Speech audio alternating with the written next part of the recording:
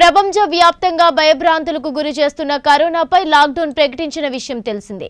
ఇందులో భాగంగా తూర్పుగోదావరి జిల్లా ప్రతిపాడు ఎమ్మెల్యే పర్వత పూర్ణచంద్రప్రసాద్ ప్రధాని నరేంద్ర మోదీ పిలుపు మేరకు జగన్మోహన్ రెడ్డి ఆదేశాలతో ఆయన దీప ప్రజ్వలన చేసి ప్రతి ఒక్కరూ కరోనా నిర్మూలనకు సహకరించాలని పిలుపునిచ్చారు.